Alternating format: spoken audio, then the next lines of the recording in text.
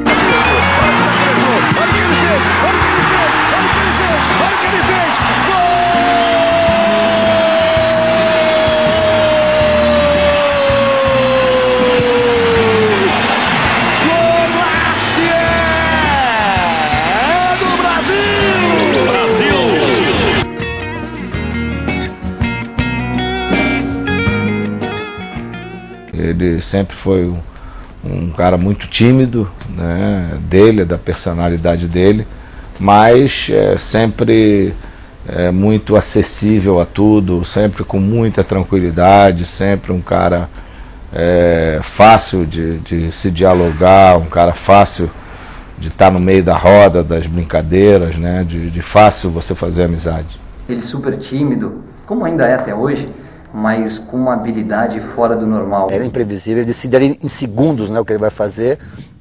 É uma coisa absurda, né? A maneira que ele tem do improviso, né? Então esse é o craque, é o cara que vai decidir mesmo.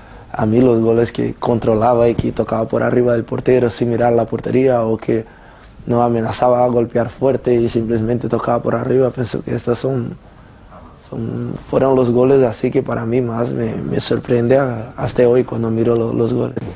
É, ele troca de pé ali, é, pouca gente faz. Para bater de esquerda, ele joga no contrapé do goleiro. E de- depois de um rush daquele, daquela velocidade na frente do goleiro, é muita habilidade de goleador também.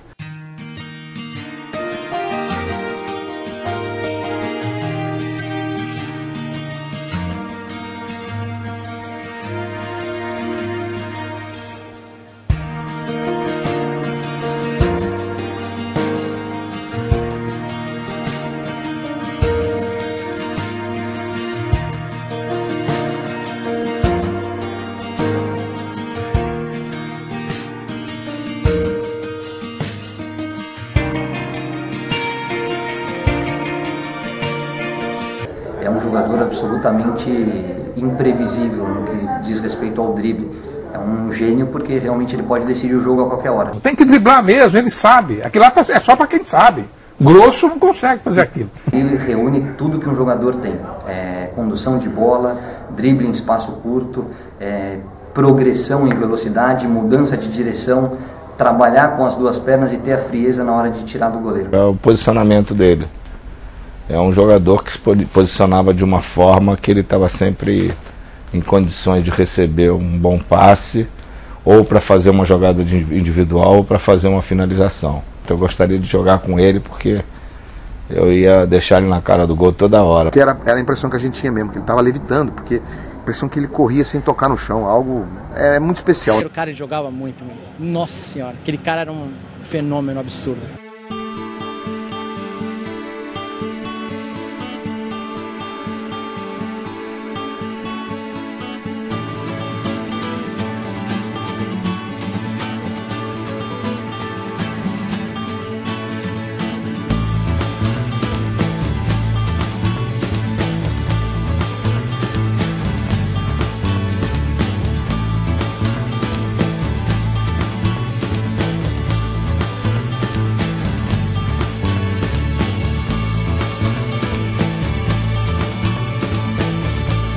Conduta dele profissional, é, por tudo aquilo que ele, que ele conseguiu no futebol, é, a forma dele ser no dia a dia com é, os profissionais que estão em volta dele, com os companheiros, Eu acho que isso é que chama atenção.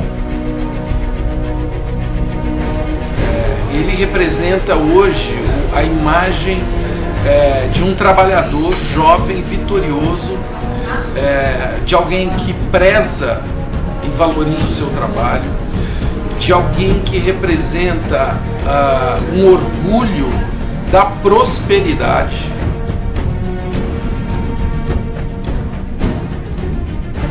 Porque é um cara que está sempre voltado para fazer o melhor para o time dele, para a equipe dele, para o grupo dele. Então, é, esses aspectos eu levo muito em consideração.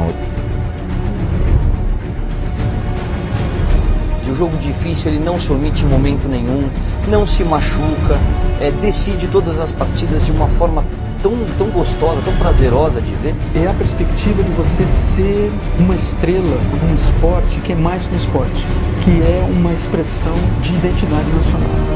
Então você vira um herói.